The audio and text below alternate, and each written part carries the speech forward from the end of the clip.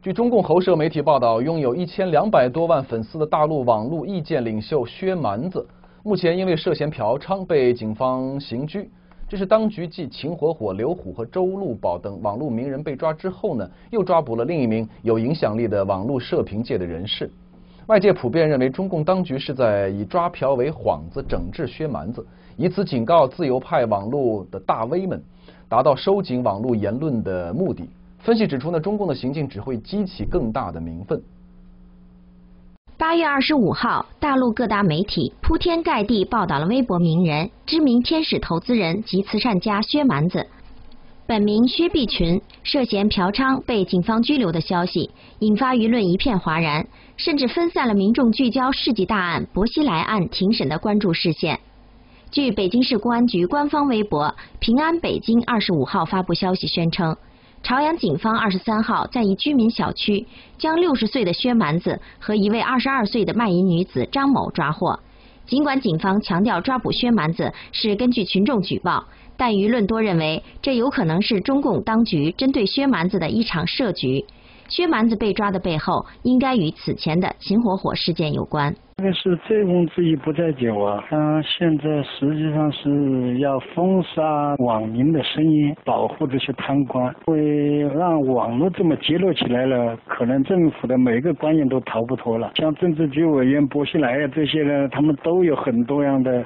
云南的那些鬼事情，这样揭露下去，估计最终会接到中央的领导人身上去。那么出于这种恐惧，他们现在要把网络上的民间的反腐的举报全部把它封杀。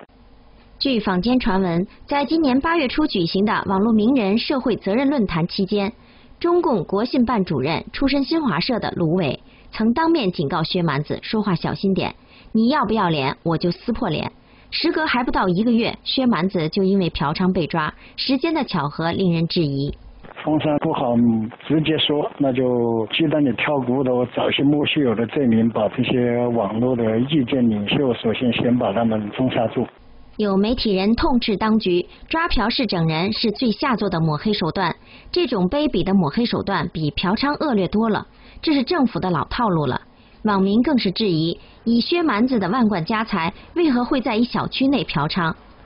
中共喉舌《人民日报》旗下《环球时报》总编胡锡进对此表示：“通过性丑闻偷漏税整治政治对手是政府的潜规则。”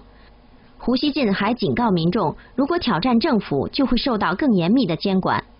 此前拥有四百多万粉丝的网络作家慕容雪村的微博，在今年五月被消耗。网络红人秦火火被非法经营而拘留，拥有一百一十万粉丝的知名网络爆料人周路宝八月九号被警方以涉嫌敲诈勒索罪批捕。实名举报中共工商总局副局长马正奇的新快报记者刘虎二十三号被当局以涉嫌制造传播谣言为由刑拘。加上大陆各地的轰轰烈烈的打击网络谣言运动，种种迹象表明。中共当局正在试图加强对互联网言论的管控，而大 V 们正成为管制的主要目标。这说明这个封杀的手段在扩大了嘛，越过了边界。实际上，这标志着这个二次文革已经到来了。有了薛蛮子这个例，可以还把网络上很多人都抓走了。将来我估计会扩大到所有的批评过政府的，你现在都开始秋后算账了，保护官方的谎言，打击民间的批评。大陆专栏政论作家朱建国认为，当局打压网络言论自由，即使人们因为一时的畏惧而闭口不言，但最终只会把社会的平衡打破，引发更大规模的抗争。他相信，很快会有更多的民众加入讲真话的行列。